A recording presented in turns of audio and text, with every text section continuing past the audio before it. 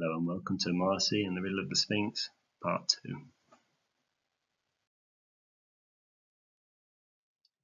Marcy was far too scared to enter the dark tomb and begged Thoth to release her father. Perhaps there is something you can do for me. The sun god Ra has two magical eyes. One holds the power of the moon and the other the sun. Bring me his moon eye and I will free your father. Follow the horizon until you see a light shining through the stars. It will be Ra sailing his sunboat. Don't come back until you have his moon eye. With Thoth's words ringing in her ears, Marcy wandered through the desert towards the horizon. Suddenly, she saw what looked like a shooting star. It was getting bigger and bigger. Marcy had to act quickly. At the ship's helm, Marcy could see the god Ra. But first she would have to remain unnoticed by the boat's crew of gods. Anubis, the god of the afterlife. Isis, the god of nature and magic. And Bast, the goddess of cats. With Ra in sight, Marcy came up with a plan to get his eye.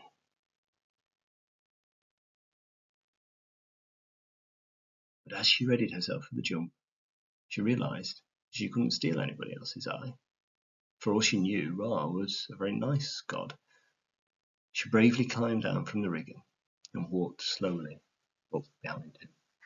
She was very small, so she had to clear her throat as she gave a big tug on his cape.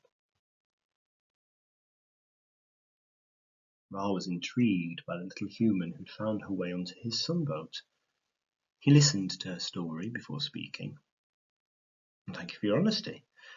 Thoth is always plotting to steal my moon eye.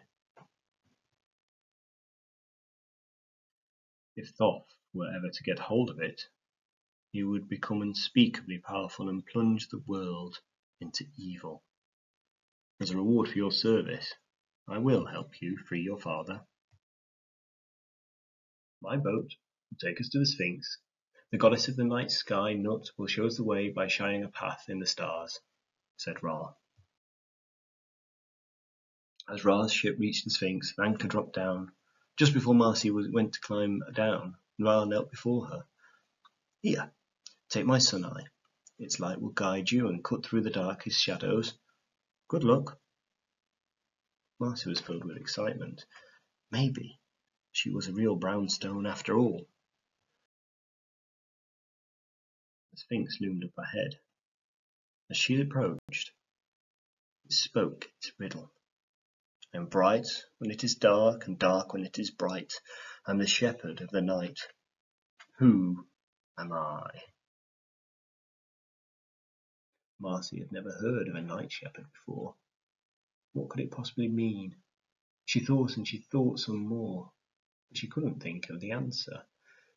Then she had a sudden idea. What was only at its brightest in the dark? The stars.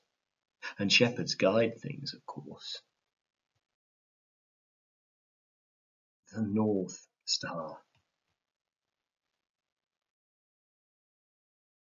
The Sphinx's mouth opened to reveal a set of steps, and they led down into a deep, dark cave. Marcy trembled with fear, but she knew this was the only way to save her father. As she descended into the belly of the Sphinx, it got darker and darker.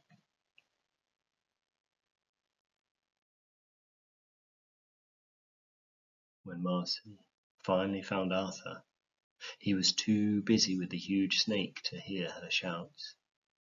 She didn't have time to think. She had to do something. With the eye of Ra lighting her way, she vaulted straight into the snake's mouth. In that moment, Arthur realized that the book would not help Marcy.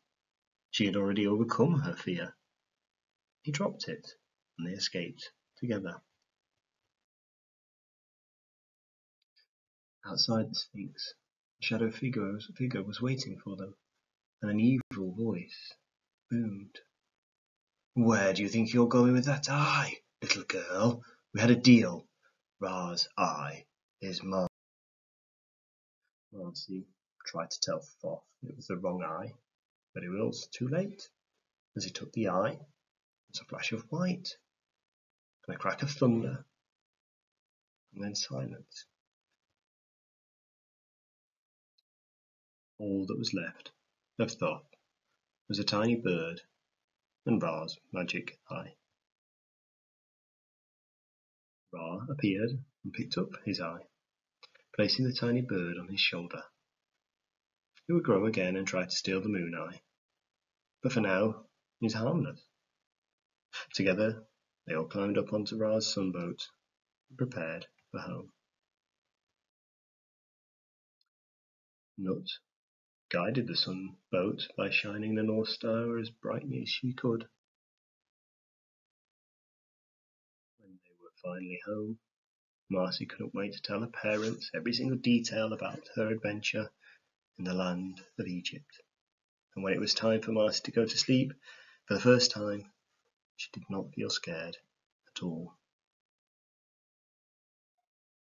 Marcy realized that no matter how scary the dark was, even if it was filled with monsters, she was more than brave enough to fight them.